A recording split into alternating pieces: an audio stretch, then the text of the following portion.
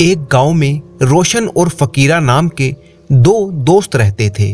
अब उनकी गिनती गाँव के शरीफ लोगों में होती थी और ये बात गाँव में शायद ही किसी को मालूम थी कि ये दोनों आज से 25-30 साल पहले एक दूसरे से बिल्कुल ही अनजान थे और इस गाँव में आकर बसे थे। और ये राज तो किसी को मालूम ही ना था कि ये दोनों किसी जमाने में पेशे से चोर थे। ये भी भाग्य की बात है कि ये दोनों भटकते भटकते इसी गाँव में आकर बस गए और अब मेहनत मजदूरी करके अपना गुजर बसर करते थे। दोनों ने एक ही जगह पर अपनी झोपड़ियाँ डाल रखी थी। उन दोनों के दिल ऐसे मिले कि गाँव के लोग उन्हें दो भाई कहकर पुकारते थे। उनकी झोपड़ियाँ बिल्कुल पास पास थीं। दोनों के दिन बड़े ही मज़े से कट रहे थे। समय बीतने के साथ साथ वे एक दूसरे के ये राज भी जान गए कि वे दोनों किसी समय में चोर थे। लेकिन बरसों पहले उन्होंने चोरी के काम को छोड़कर एक सीधे और सच्चे आदमी की तरह जीवन गुजारने की कसम खा ली थी। परंतु ये राज हमेशा उन्हीं के दिलों में रहा और गाँव में किसी को कानो कान इसकी खबर नहीं थी। दिन भर की कड़ी मेहनत के बाद ही वो अपने पेट की भूख को शांत कर पाते थे। दिन भर की कड़ी मेहनत के बाद जब वे रात को खाना खाकर अपनी अपनी झोपड़ियों के बाहर चारपाई पर बैठते तो अपनी पिछली ज़िंदगी के किस्से एक दूसरे को सुनाकर अपना दिल बहलाते। एक बार दोनों रात के समय बाहर बैठे हुए बातें कर रहे थे। तब रोशन ने कहा, भाई, चोरी चकारी के किस्से तो हम रोज ही सुनाते हैं, परंतु मेरा तो मन चाहता है कि तुम ये बताओ कि तुमने चोरी छोड़ क्यों दी?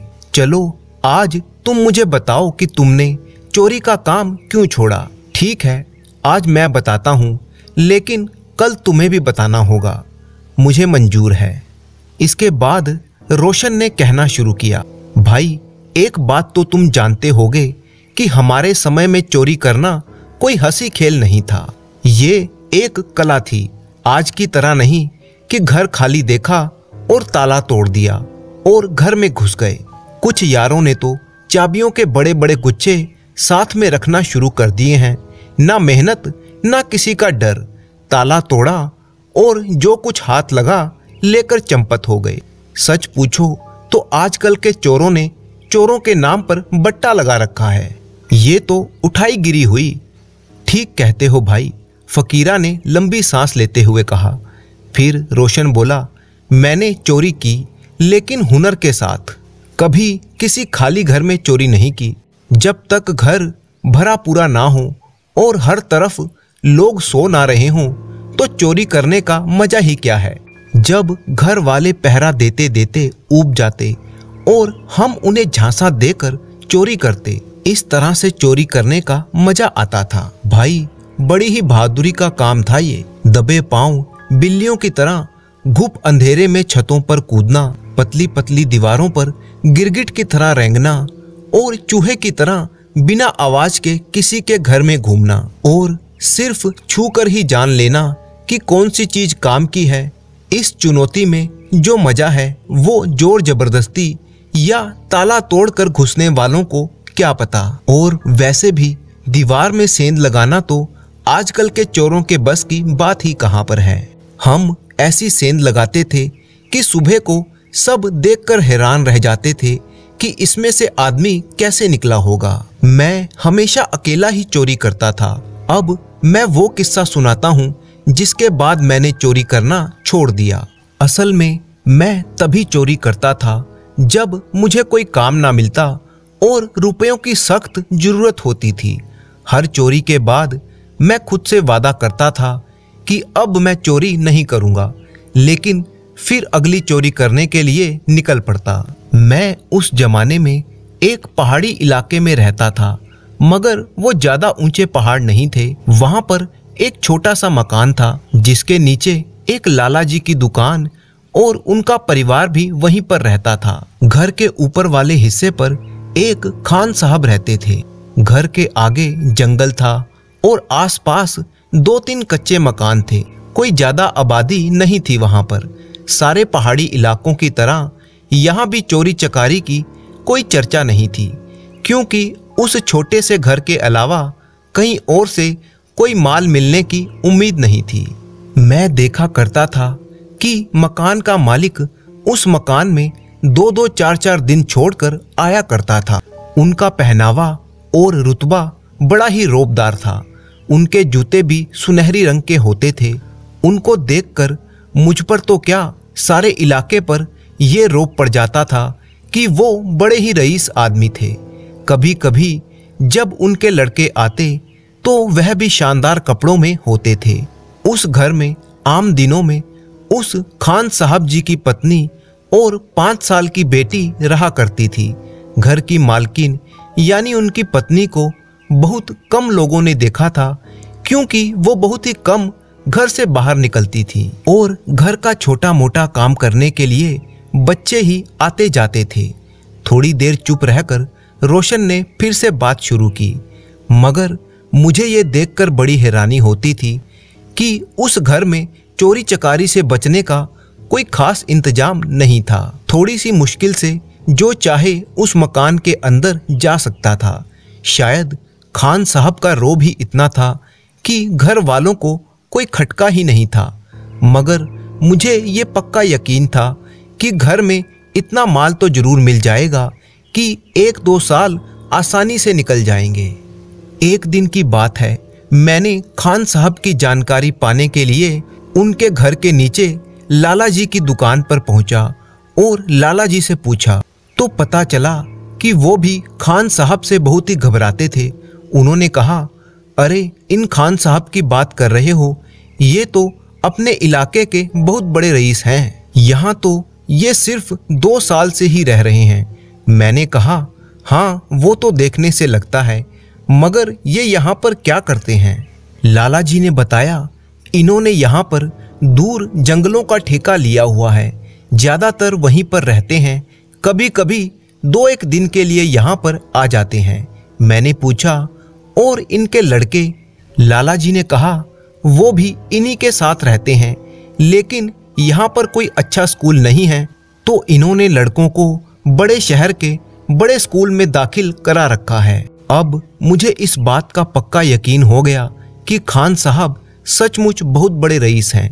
तभी तो अपने बच्चों को बड़े शहर के, बड़े स्कूल में पढ़ा रहे हैं। आखिर एक दिन दो तीन दिन घर पर रहने के बाद खान साहब जब अपने काम पर वापस लौटे तो मैंने उसी शाम को अपना काम करने की ठान ली। रात को घर के अंदर पहुँचने में कोई खास कठिनाई नहीं हुई। मैं सीढ़ियाँ चढ़कर खान साहब के घर के अंदर पहुँच गया। दो कमरों और एक बरामदे का छोटा सा घर था ये। अंदर पहुंचकर मैं कुछ देर के लिए बरामदे में बैठ गया, ताकि मेरी आँखें अंधेरे में देख सकें। जल्दी ही मुझे अंदाज़ा हो गया कि घर में सामान ज़्यादा नहीं है। एक कमरे में माँ और बच्ची सो रहे थे।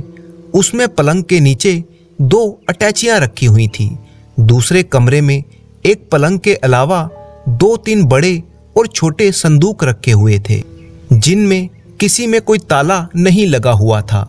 ये देखकर मेरा माथा ठनका कि इतने बड़े रईस के घर में इतना कम सामान। खैर, मैंने सोचा कि इससे मेरा काम कुछ आसान ही हो जाएगा। मैंने संदूकों में हाथ डालकर जल्दी जल्दी तलाशी लेना शुरू कर दिया कि कपड़ों के अलावा कोई छोटा बक्सा जेवर का डिब्बा या कोई और काम की चीज़ हाथ लग जाए। मगर मुझे जल्दी ही पता चल गया कि इस कमरे में मेरे काम की कोई चीज़ नहीं थी। संदूकों में सिर्फ़ कपड़े ही कपड़े भरे हुए थे। अंधेरे में हाथ से छूकर दो एक कपड़े ऐसे लगे जैसे उन पर कढ़ाई और सितारों का काम बना हुआ था। मुझे यकीन था कि ये कढ़ाई सोने के तारों से की गई होगी। मैंने उन कीमती कपड़ों को एक चादर में लपेटकर बरामदे में पड़ी हुई खाट के नीचे खिसका दिया। अब मुझे फ़िक्र थी, दूसरे कमरे में रखी हुई दोनों अटैचियों की। मुझे यकीन था कि उस औरत ने अपने सारे जेवर और नकदी उसी में रखी थी। मैंने तय कर लिया कि दोनों अटैचियाँ गठड़ी में बाँध कर ले जाऊँगा, क्योंकि वे अटैचियाँ बहुत बड़ी नहीं थी। मैं ज़मीन पर रेंगता हुआ दूसरे कमरे में घुसा और अटैची उठाकर बरामदे में ले आया और उन कीमती कपड़ों के साथ रखना ही चाहता था कि ना जाने क्या हुआ। शायद मेरी किस्मत में यही लिखा था या ऊपर वाला यही चाहता था कि मैं इस अधूरी चोरी के बाद कोई चोरी ना करूँ। मैं दीवार से लगी हुई एक खाट से टकराया, जिस पर शायद मैंने अंधेरे में ध्यान नहीं दिया था। वो खाट खटखट की आवाज़ के साथ एक और झुकी और ज़मीन से टकराई। उसके साथ ही घर की मालकिन की आवाज़ आई, कौन है? मुझे एकदम ख्याल आया कि अगर ये औरत डर कर ज़ोर से चीखी तो नीचे लाला जी के घर वाले भी उठ जाएँगे। और लाला जी तो मुझे पहचानते हैं। बस ना जाने कैसे मैं बोल पड़ा, बहन जी, मुझे खान साहब ने भेजा है कुछ मंगवाने के लिए। और औरत ने कहा अरे, इतनी रात गए। मुझे लगा कि औरत की आवाज़ में डर और घबराहट से ज़्यादा हैरानी थी। मैंने कहा हाँ जी, मेरी समझ में नहीं आ रहा था कि आगे अब क्या कहूँ।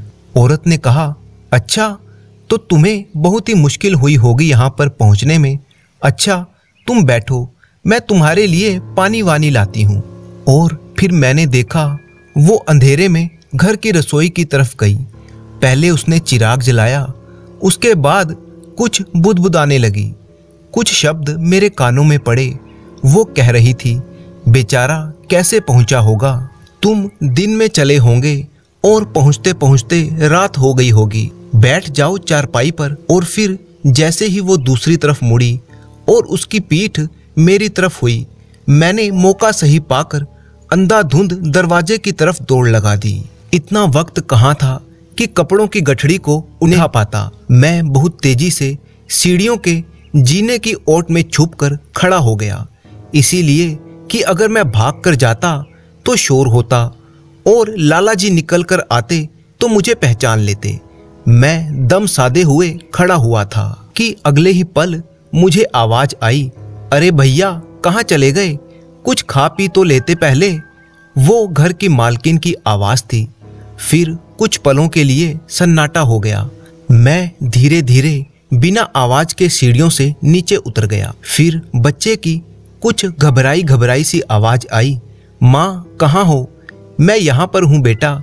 तुम्हारे बाबूजी का भेजा हुआ कोई आदमी आया था। ना जाने कहाँ चला गया। बच्ची ने कहा, माँ जी, तुम यहाँ पर आ जाओ। मुझे डर लग रहा है। थोड़ी देर तक औरत ना जाने क्या बुदबुदाती रही। थोड़ी देर बाद मुझे दरवाज़ा बंद करके कुंडी लगने की आवाज़ आई।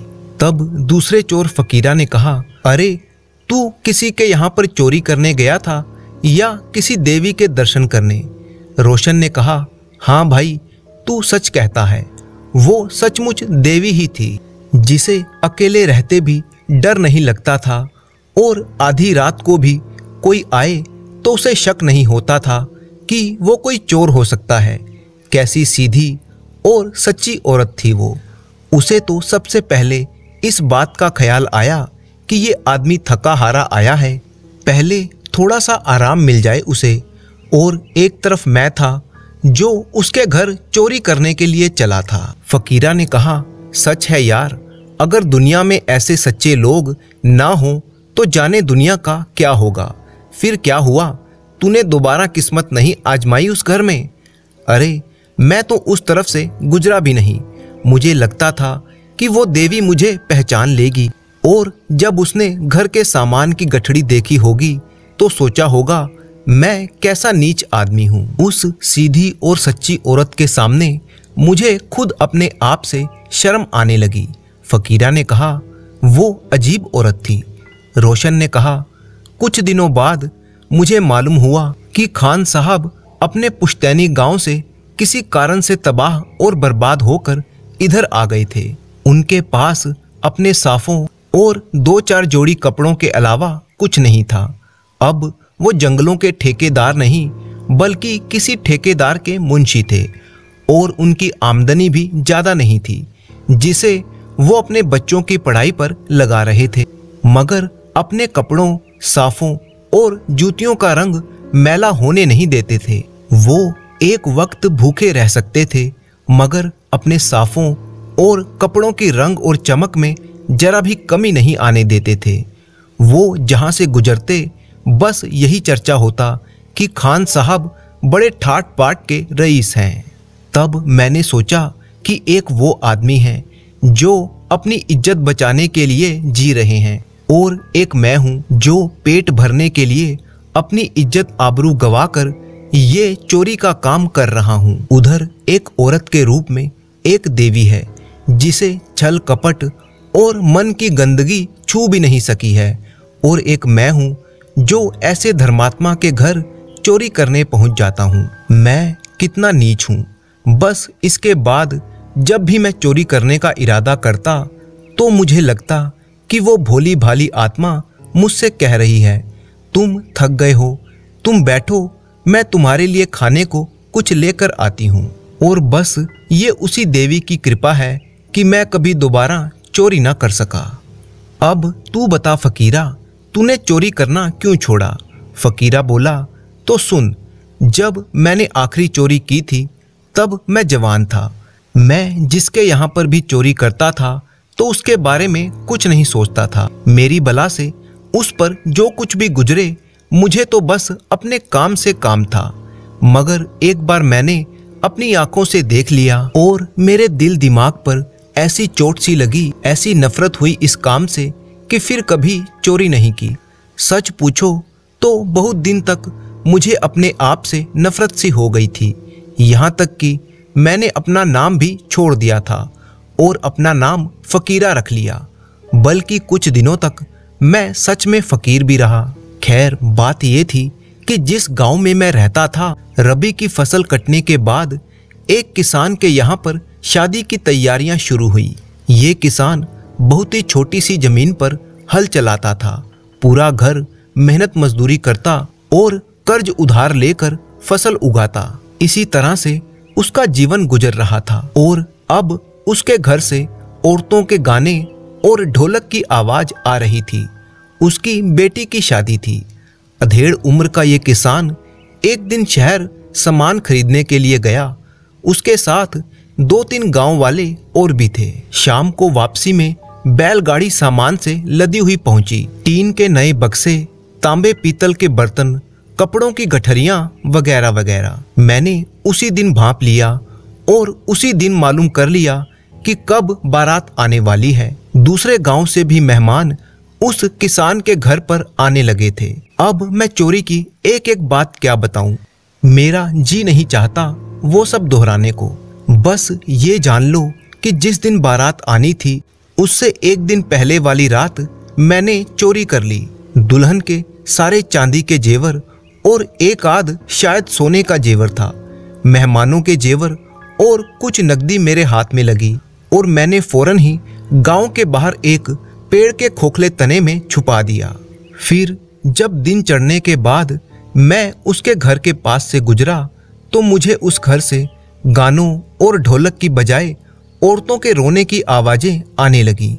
एक पल के लिए मैं भूल गया कि अभी कुछ घंटे पहले ही मैंने यहाँ पर चोरी की थी। मैंने समझा, शायद यहाँ पर किसी की मौत हो गई है। और बस उसी वक्त मुझे पहली बार ज़िंदगी में एक ऐसा धक्का सा लगा, कुछ और लोगों के साथ मैं भी उस किसान के पास जा पहुँचा। मुझे ऐसा लगा जैसे मैं खुद वहाँ ना गया हूँ, बल्कि मुझे कोई खींच कर ले गया है। बहुत से लोग उसे चारों ओर से घेरे हुए थे। बेचारा किसान उदास और सोच में डूबा हुआ था, जैसे अभी किसी का क्रियाक्रम करके आ रहा हो। अचानक किसी ने पूछा, कुछ बचा भी या सब चला गया? किसान की आँखों में आँसू डबडबा आए। उसने रोती हुई आवाज़ में कहा, बस भाई, ये समझ लो कि बिटिया को आज तो विदा नहीं किया जा सकता। मुझे तो मेहमानों से भी शर्म आ रही है। बेटी का तो जो सामान गया, वो गया। कुछ मेहमानों का माल भी चला गया। वो रुक रुक कर बोल रहा था। आगे उस बूढ़े किसान ने कहा, तुम्हें तो मालूम ही है, मेरे पास तो था ही क्या? ज़मीन गिरवी रखी थी तब कुछ जेवर बनवाए थे। एक पुराना सोने का गहना पहले से ही इसकी माँ का पड़ा था। छह सात सौ रुपये नगद थे बारात के खर्चे के लिए। वे सब भी चले गए। अब बताओ, शाम को बारात आएगी तो उसे क्या खिलाऊँगा? लड़की के हाथ पर क्या रखूँगा? किसी दूसरे आदमी ने कहा, ये तो सचमुच बहुत ही बुरा हुआ। ये तो गाँव भर की इज़्ज़त का मामला है। फिर तूने क्या सोचा बारात का? किसान ने कहा हाँ यही सोच रहा हूँ। नाक तो नहीं कटवानी। मैं सोचता हूँ कि बारात रुकवाने के लिए आदमी दौड़ा दूँ। वहीं पास में ही खड़े एक नौजवान ने कहा, अरे नहीं भाई, बारात नहीं रुकेगी।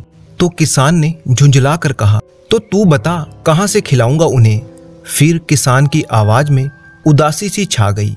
बोला अच्छा मान ले, अगर गाँव वालों से मांग कर बारात को कुछ खिला पिला भी दूँ तो बेटी को बिना जेवर के कैसे विदा कर दूँ? अब मैंने देखा कि बूढ़ा किसान सचमुच रोने लगा था। रोते रोते आँसू उसकी आँखों से लुढ़क कर उसके मैले कुर्ते पर आ गिरे थे। ये देखकर मेरा दिल हिल गया। इससे पहले मैंने बड़ी उम्र वाले आदमी को रोते बिलखते नहीं देखा था। मुझे ये बात बड़ी ही अजीब सी लगी। फिर ना जाने कैसे मेरे दिल में ख्याल आया कि एक घर के लोगों को दुख देकर, बूढ़े माँ बाप का दिल तोड़कर, घर के बच्चों की शादी और खुशियों को छीनकर, अगर मैंने कुछ दिन अच्छा खाना खा भी लिया तो कैसा लगेगा? मुझे ऐसे लगा जैसे कोई मेरे दिमाग में ज़ोर ज़ोर से चीख रहा हो कि तुम सिर्फ़ चोर ही नहीं, कातिल भी हो। इनकी खुशियों के कातिल, तुमने बूढ़े माँ बाप की खुशियों का गला घोटा है।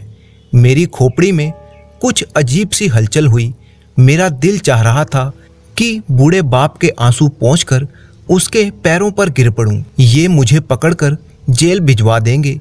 एक दो साल चक्की पीसूँगा, तकलीफ़ होगी, मगर अब मुझ अकेले की वजह से कितने लोगों को तकलीफ़ हो रही थी। मैं ख्यालों में खोया हुआ था कि मुझे लगा कि किसी ने मेरे सिर पर हथौड़ा मारा और आवाज़ आई, जा, फ़ौरन चला जा। ये उस बूढ़े, इज़्ज़त आबरू वाले बाप की सख्त आवाज़ थी। वो अपने उसी लड़के को हुक्म दे रहा था, जिसने बारात रुकवाने को मना किया था। बूढ़ा कह रहा था, जा दूल्हे के बाप से कहना कि शाम को बारात लेकर ना आए। वो कुछ भी कहे, तुम राज़ी मत होना और कहना कि एक दो दिन में मैं खुद उनसे मिलने आऊँगा। गाँव भर की नाक कटवाने से अच्छा है कि बारात आए ही नहीं। अब दुख और उदासी की जगह उस बूढ़े की आवाज़ में अजीब सी सख्ती आ गई थी। फकीरा बोला, बस मुझे ऐसा लगा कि जैसे कोई चीज़ मुझे खींच रही हो। मैं शायद उस वक्त अपने होशो हवास में नहीं था।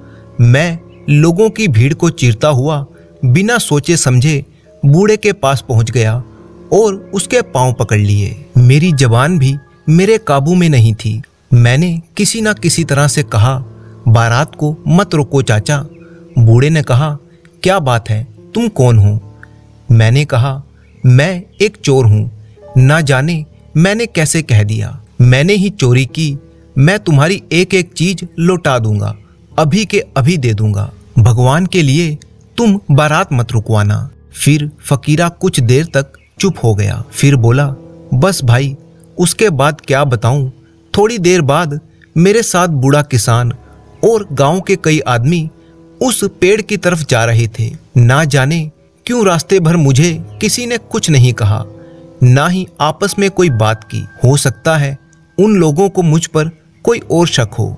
मैंने पोटली उन्हें दे दी तो बूढ़े ने मुझे गले से लगा लिया। एक बार फिर मुझे उसकी आँखों में आँसू छलकते हुए दिखाई दिए, मगर अब खुद मेरी आँखें भी भीगने लगी थी। वो लोग पोटली लेकर चले गए और मैं वहीं पेड़ के नीचे बैठा रहा। मुझे याद नहीं कि कितनी देर तक बैठा मैं वहाँ पर सोचता रहा। मैं तो उस वक्त चौंका जब शाम के पहले पहर मुझे गाँव की तरफ़ से ढोलक बजने की आवाज़ें आई। मगर फिर मैं अपने गाँव में कभी वापस नहीं लौटा और ना ही कभी फिर से चोरी की। बस यही मेरी आप बीती थी।